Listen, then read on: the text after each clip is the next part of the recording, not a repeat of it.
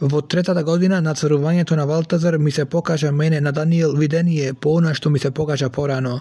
Го гледав видението и додека гледав се најдов во Сусана тврд град во покраината Елам и во привидот се видов при реката Улај.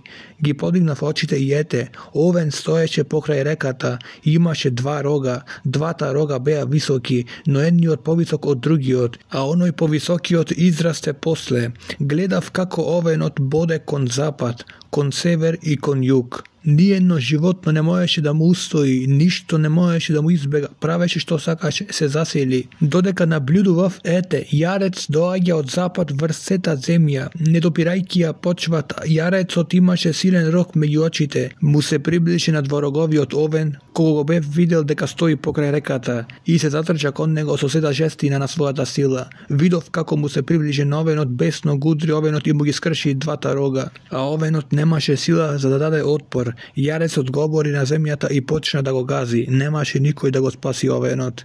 Јарецот се засели многу, но кога се засели, големиот рог се скрши, а на неговото место израстеа четири големи рогови кон четирите небесни ветра. Од едниот од нив изби мал рог ама тој израсте многу кон југ и исток, кон прекрасната земја.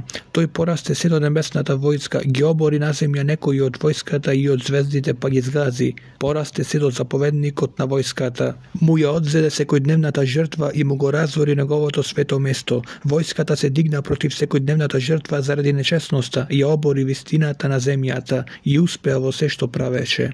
Тогаш чув како еден светец зборува, а втор светец го праша оној што зборуваше. До кога ќе трае овој привид за сегогашната жртва и за престапот што ги запустува и гази сведелиштето и војската?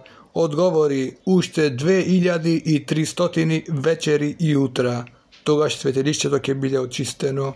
Кога јас, Даниел, гледајќи го овој привид, барав да го разберам, ете, пред мене застана како некој човек – Чув човечки глас како вика осред улај. Гаврило, објасни му го тоа привидение. Тој тргна онаму каде што стоев и кога ми се приближи, ме опфати страв и паднав на лице. Тој ми рече, човечки сине, разбери зашто ова видение е за последното време.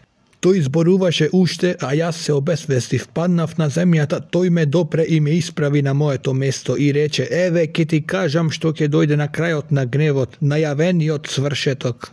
Овенот што го виде неговите два рога, тоа се царевите на Мидија и Персија. Влакневиот јарец е царот на Грција, големиот рок меѓу неговите очи е првиот цар. Скршениот рок и четирите рога што излегува на неговото место, тоа се четири царства што ќе излезат од неговиот народ, но не ќе ја имаат неговата сила. И кон крајот на нивното царување, кога беззакониците ќе исполнат мерата, ќе стане цар дрзок и лукав. Неговата сила ќе порасте, ама не со своја снага.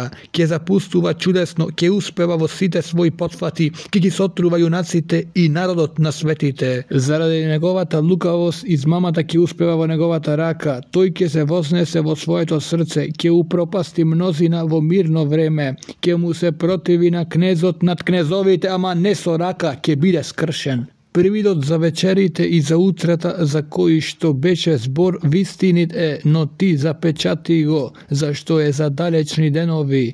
Тогаш јас Даниел примрев и бев болен повеќе денови. Потоа станав за да ги вршам царските работи, бев смутен заради привидот, но никој не го узна тоа.